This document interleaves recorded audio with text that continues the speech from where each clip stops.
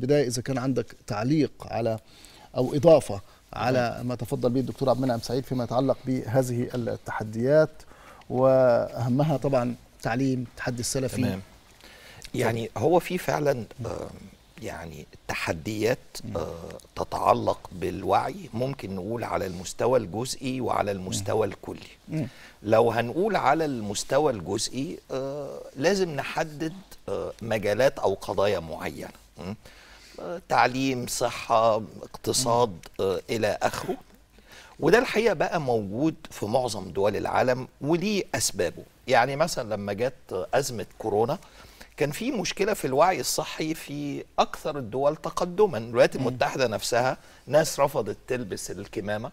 ناس اعتقدت إنه اللقاح أو ال vac- ال vaccine ده مؤامرة سواء مؤامرة ضد البيض أو مؤامرة من البيض ضد ال- السود? ودي دولة أكثر دولة يعني آه، متقدمة وفيها آه، الولايات المتحدة حتى هذه اللحظة عندها مشكلة ممكن نحطها برضو تحت موضوع ال- الوعي تتعلق بنتائج الانتخابات الرئاسية الأخيرة. قطاع كبير من المواطنين الأمريكيين بيعتقد أنه الانتخابات مزورة.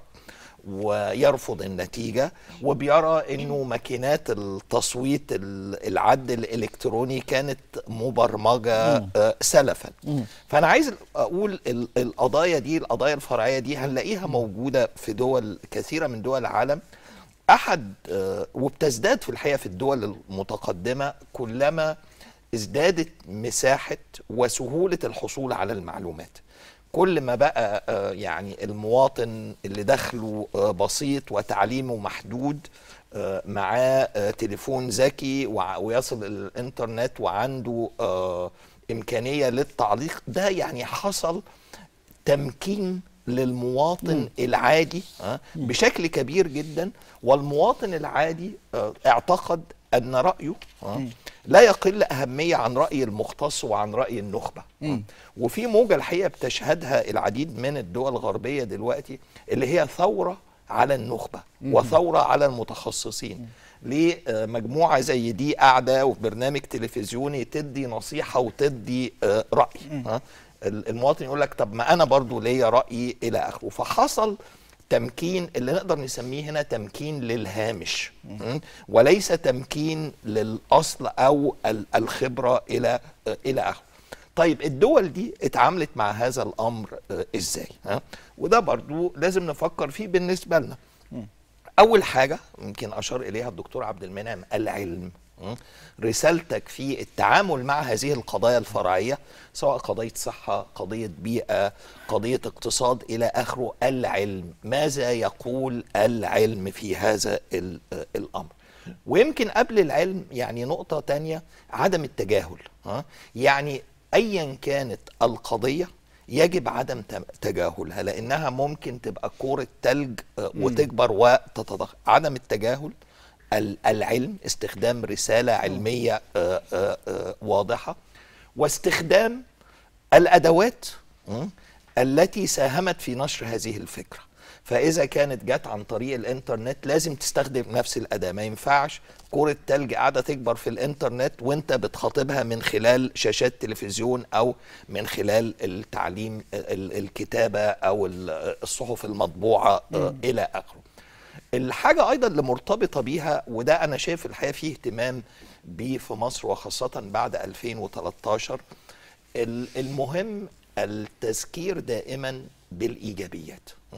لأنه آه، يعني في أحيان كثيرة آه، آه، يعني ال ال ال ال الصورة السلبية أو الإعلام يميل إلى نشر الصورة السلبية ويجدها أكثر جاذبية.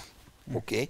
ومن في الحكم آه، يعني وحتى يعتقد الإعلام ال- ال- الجديد والإعلام القديم بالظبط. بس بيتساووا هو. أكثر إثارة إنك تقول في يعني سور مدرسة أو سلم مدرسة من 500 ألف مدرسة موجودة آه، وقع وتوفيت طالبة يعني يرحمها اثاره الله. من إنك أنت تقول اتبنى السنة دي مثلا 500 آه أو إن العملية منتظمة في 500 ألف مدرسة آه، أخرى. فمسألة الحديث الجانب السلبي سوف يستمر دائما حديث عنه ولكن لا يجب أن تعتقد ولو للحظة وده أنا أعتقد كان سائد في مصر لفترة يعني أن الإيجابي سوف يشرح نفسه? وإنه إنك عملت منشأة عملت كوبري مجرد المواطن هيعدي عليها هيفتكرها لا.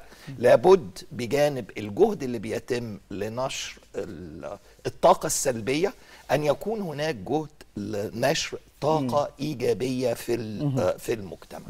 ده بالنسبة للقضايا اللي مختلفة فإحنا هنقول والله عندنا تحدي في موضوع ال- الصحة في الاقتصاد نقص وعي نتعامل معاه وفقا لهذه الأسس. لكن أنا الحقيقة برضو يهمني القضية الكبرى اللي مرتبطة بالوعي? اللي هي قضية الوطن والمشروع الوطني وفكرة الدولة الوطنية لأن دي ليها أيضا دور أساسي في التعامل مع التحديات الفرعية? لأنه الفرعيات دي في النهاية هي جزء من الكل? لو عندك تحدي صحة تحدي تعليم أنت لا تتعامل معه كجزء ولكن هو جزء من المشروع الكبير. لابد من بلورة المشروع الكبير. لابد من بلورة الوعي بخصوص المشروع الكبير. ولا بد للعودة لهذا المشروع الكبير وأسس المشروع الكبير عند التعامل مع القضايا الفرعية. يعني القضايا الفرعية لها منطقها الخاص بالفرع ولكن التعامل معها يجب أن يكون جزء منه العودة للكل والعودة للمشروع الكبير. يعني المشروع الكبير ده زي ما إحنا قاعدين كده ها كل واحد قاعد في زاوية هو الضوء اللي مالي الاستوديو ده كله? اللي نازل عليا ونازل عليك ونازل على كل آه، الضيوف